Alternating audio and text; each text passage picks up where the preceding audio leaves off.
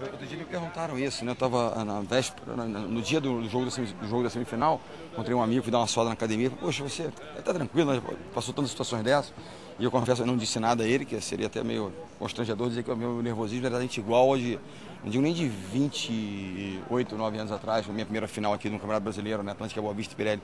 Mas é, eu digo de 30 anos atrás, 30 e tantos anos atrás, no meu jogo Mirim.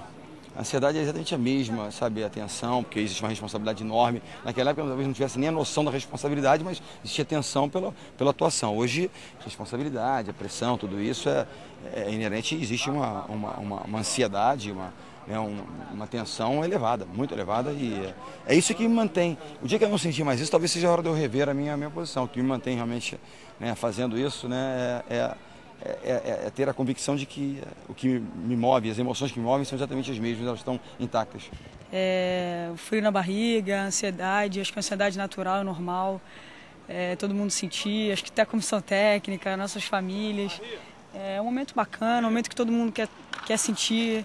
Tenho certeza que quem não está nessa final gostaria de estar, tá, porque acho que é o momento mais para que a gente trabalha para chegar aqui, né? Então esse friozinho é mais do que natural, normal essa ansiedade, tudo com, acho que com, com certo controle é, faz parte, não é nada, nada de anormal assim a gente sentir essas, é, esse friozinho, que até, como diz o Giba, né, o Giba fala que ele tem a sensação das borboletas.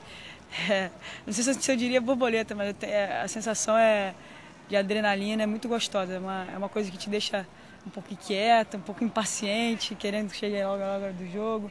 E quem tem que nos ajudar aí é as nossas famílias, né, que tem que ter é, a paciência para conseguir aturar. A gente, fica, fica um pouquinho chato, assim, eu acho, na semana decisiva. Cara, eu procuro, eu procuro visualizar bastante o jogo, assim, eu gosto de estar tá falando com a minha mãe no telefone, com os meus amigos, pessoas que gostam de mim. É, durmo pouco, eu acho que é, é difícil dormir no dia da véspera de uma final, assim, um momento tão importante. Mas eu procuro, tento, né, ficar tranquila, mas trocando ideia com as meninas, conversando, é, tentando ajudar em alguma coisa ali. Mas assim, eu, eu gosto de ficar um pouco quieta, assim, no quarto, pensativa, é, refletindo sobre o que a gente fez na temporada.